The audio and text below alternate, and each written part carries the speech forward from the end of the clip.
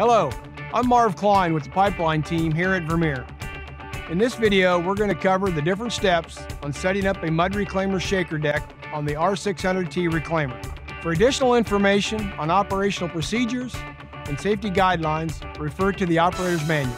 Once the reclaimer is staged on site, the tanks are filled with water and the unit is ready to be utilized, it's important that the shaker decks are set up properly to achieve maximum performance. The first step is to detach the transport support bars from the sides of the shaker decks. These support bars are designed to carry the load of the shaker decks during transport, but need to be detached from the shaker decks prior to use.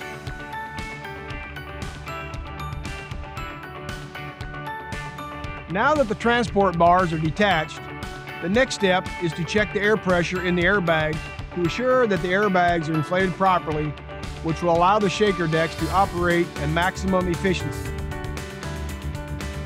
Check the air pressure in the airbags with a standard air pressure gauge. The recommended air pressure is between 40 psi and 50 psi. Now let's look at the screen installation process. Each shaker deck is equipped with three pre-tension screens. Once the proper screen selection is decided, we can now begin to install the screens. Always check the back side of the screen to assure the rubber gaskets are in place and there is no damage to the gasket. The first screen to be installed goes into position number one, which is toward the back of the shaker deck. To install the screen, position it inside the shaker deck between the sidewalls and slide the screen all the way to the back against the end wall. To secure the screen in place, place one of the screen wedge bars on top of the screen frames on both sides.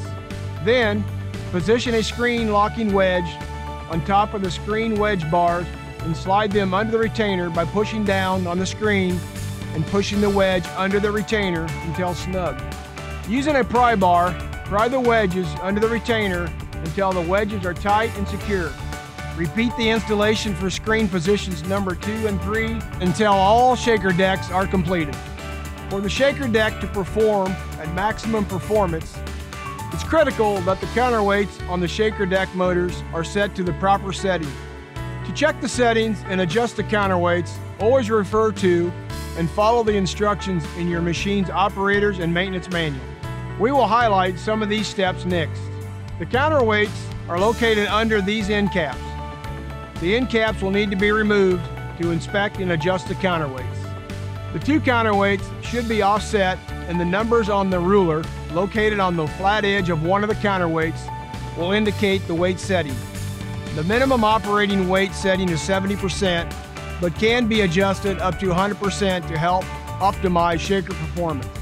When weights are fully overlapped, the percentage is 100%, and when the weights are not overlapped and totally opposite to each other, the percentage is zero. To adjust the weight setting, loosen the Allen head bolt on the counterweight with the ruler and rotate the counterweight to the desired setting.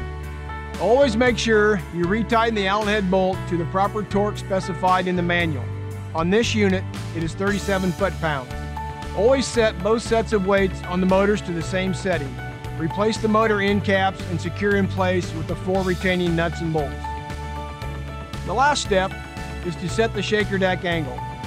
Although there is no specific set working angle, it's advised to start with an upward angle from back to front.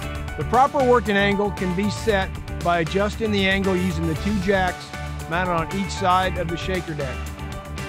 Crank the jacks in the clockwise direction to increase the angle and counterclockwise to decrease the angle until the desired angle is achieved. We suggest you run at the lowest angle possible. Thanks for watching this video on setting up the Reclaimer Shaker Deck. For more information on our reclaimers, talk to your local Vermeer dealer or visit Vermeer.com.